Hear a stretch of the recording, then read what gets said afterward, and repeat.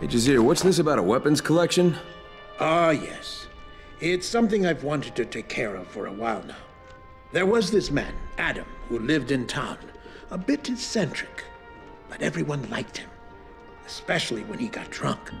Well, he had a huge collection of weapons, famous for it. And he was a good shot with his precious revolvers. But then, when he started getting older, he got paranoid that someone was going to steal them.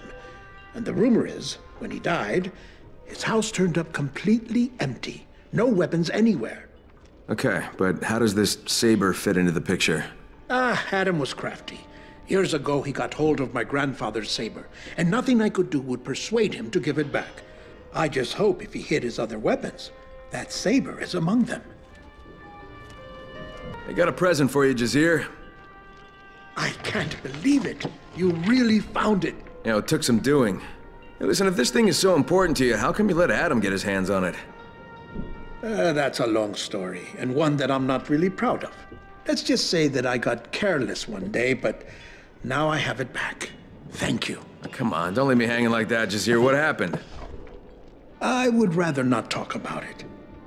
It can't be that bad. What, what was it, like a dare or something? Oh, was there a woman involved? A woman and a chicken. Chicken? This was five years ago. Esgi's mother had been gone for 18 months, and I was getting lonely. And there was a widow here in town. She liked chickens. Wait, what, like fried? No, she kept them as pets. And Adam had this spectacular rooster and a weakness for cards. Wait, Jazir, are you saying you lost your grandfather's sword in a card game over a chicken? You might remember, boy, that I said I wasn't proud of this. Well, what happened to the widow? What do you think happened? Adam had the rooster and won my grandfather's saber. The widow married him.